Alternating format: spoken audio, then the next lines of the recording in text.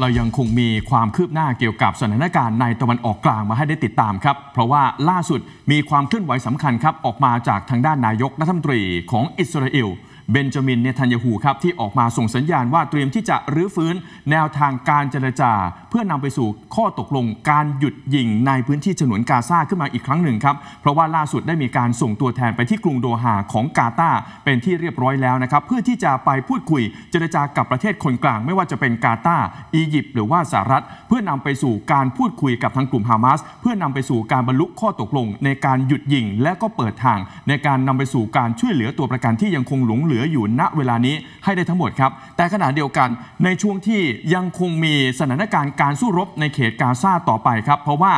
ยังมีการโจมตีและมีความรุนแรงเกิดขึ้นในบางเขต หนึ่งในนั้นก็คือเขตเวสต์แบงค์ที่ยังคงมีการสู้รบปรากฏให้เห็นอยู่นะครับไม่ต่างจากอีกฝั่งหนึ่งก็คือบริเวณชายแดน ระหว่างอิสราเอลกับเลบานอนครับที่ล่าสุดก็ยังคงมีการโจมตีเข้ามาล่าสุด จากทางด้านกลุ่มฮิชบอลเลาะที่มีการยิงทั้งจรวดและก็ขีปนาวุธหลายลูกเข้ามาในพื้นที่ของอิสราเอลให้เห็นอยู่ณเวลานี้นะครับทำให้มีรายงานความสูญเสียเกิดขึ้นตลอดเวลา โดยมีรายงานครับว่าตอนนี้ทางผู้นำรัสเซียกำลังพิจารณาในการจัดหาขีปนาวุธต่อต้านเรือ ส่งมอบให้กับกลุ่มฮูตีและกองทัพเยเมน ซึ่งจะเป็นขีปนาวุธความเร็วเหนือเสียงติดหัวรบได้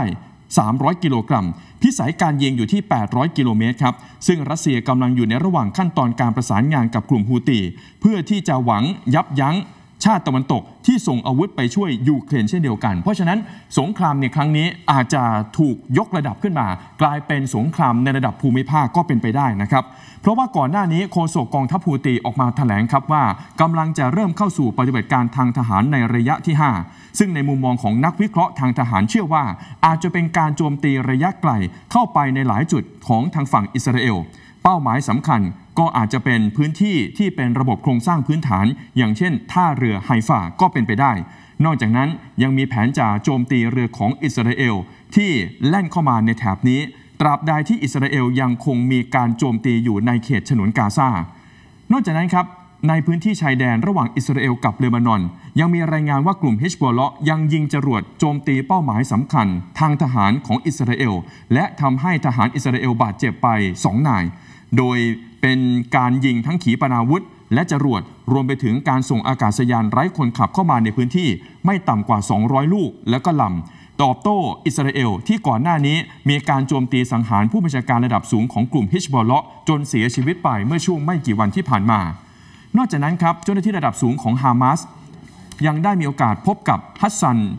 นัสลัลเลาะซึ่งเป็นผู้นำกลุ่มฮิชบอลเลาะในเลบานอนด้วย รวมไปถึงหัวหน้ากลุ่มฮูตีในเยเมน แล้วก็กลุ่มติดอาวุธในอิรัก ซึ่งการไปพบกันในครั้งนี้ครับ ทางโฆษกของกลุ่มฮามาสแถลงว่า เป็นการพิจารณาประเด็นข้อเสนอ เพื่อนำไปสู่แผนหยุดยิง 3 ขั้น ซึ่งเป็นข้อเสนอที่ถูกเสนอโดยรัฐบาลสหรัฐ ซึ่งเบื้องต้นได้รับการตอบรับเชิงบวกจากคณะตัวกลางเจรจา แต่ทีนี้สิ่งที่หลายฝ่ายเป็นห่วงก็คือปฏิกิริยาของอิสราเอลเกี่ยวกับข้อเสนอ 3 ขั้น ยังคงไม่ชัดเจนครับ และมีความเป็นไปได้ว่าอิสราเอลอาจจะเริ่มต้นทำสงครามอีกครั้งหนึ่ง ทันทีที่การแลกเปลี่ยนตัวประกันเสร็จสิ้น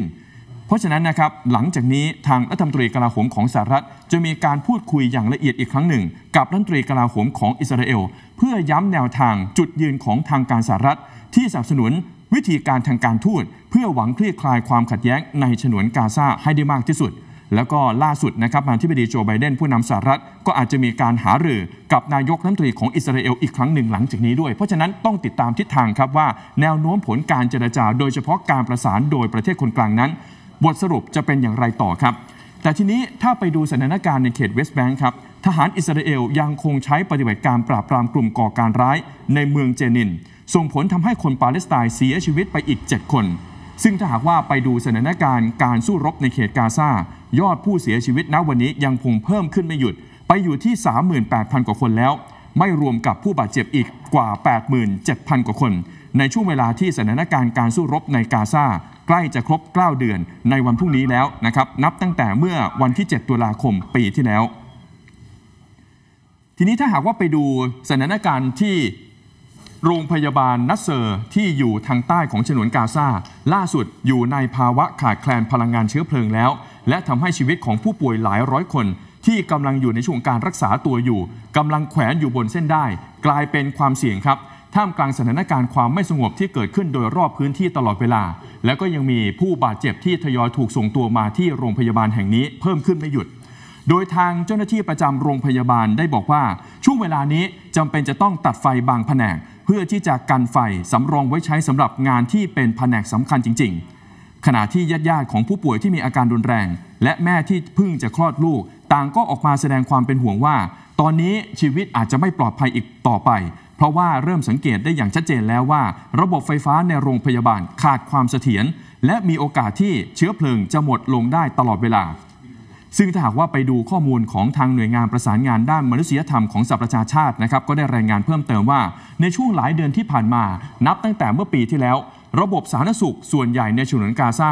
ถูกทำลายลง ซึ่งเป็นผลมาจากการสู้รบโจมตีตลอดเวลา โดยมีโรงพยาบาลอย่างน้อยๆ 24 แห่งที่ต้องยุติการให้บริการไป